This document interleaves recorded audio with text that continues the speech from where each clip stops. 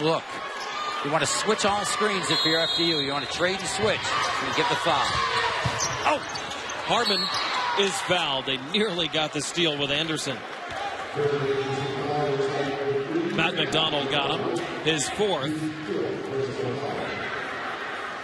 And double bonus time for the Red Flash. Now, running the baseline, that oftentimes gives you a better angle to inbound in that situation. That was a smart play by Ollie Jackson. But FDU almost came up with that.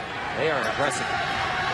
Now, it's important right now, if there's no timeouts called, what is the strategy if Malik Harmon only makes one free throw and they happen to be up three points? What is going to be your, your strategy? If you're Rob Krimmel, is he anticipating a timeout being called? But what if there isn't? Is he going to tell guys to give a foul? Is that the type of thing he's saying right now? And it's a tough situation. You don't want to call timeout right now to set that up because, because you help you, and you're also your, your free throw shooter just made one. You want to keep him in a rhythm. Harmon can make it move, and he does.